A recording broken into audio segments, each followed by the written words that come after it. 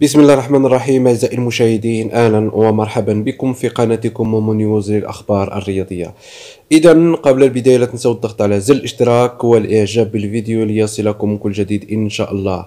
كشفت صحيفة دوسون البريطانية بأن إدارة نادي تشيلسي الإنجليزي تسعى للتعاقد مع الظهير الأيمن الجزائري يوسف عطال خلال فترة الانتقالات الشتوية المقبلة إن شاء الله.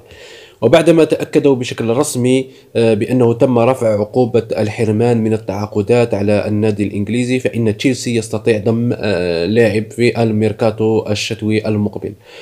وعليه فإن صحيفة ذا صن البريطانية أكدت بأن يوسف عطال آه، لاعب نادي نيس آه، بالإضافة إلى شيلويل لاعب ليستر سيتي وكذلك خوسي غايا لاعب نادي فالنسيا الإسباني. هم أهداف نادي تشيلسي التي يسعى المدرب الإنجليزي فرانك لامبارد للتعاقد آه، معهم خلال فترة الانتقالات الشتوية. آه، من أجل تعزيز صفوف البلوز نادي تشيلسي الإنجليزي. إذا نتمنى أن نرى يوسف عطال في نادي كبير. إن شاء الله أعزائي المشاهدين أشكركم جزيل الشكر على المشاهدة. دمتم في رعاية الله وحفظه والسلام عليكم ورحمة الله وبركاته.